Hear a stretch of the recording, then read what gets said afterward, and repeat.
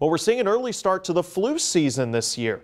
LEX18's Kristen Edwards joins us from outside the Lexington Fayette County Health Department with more on this Health Watch report.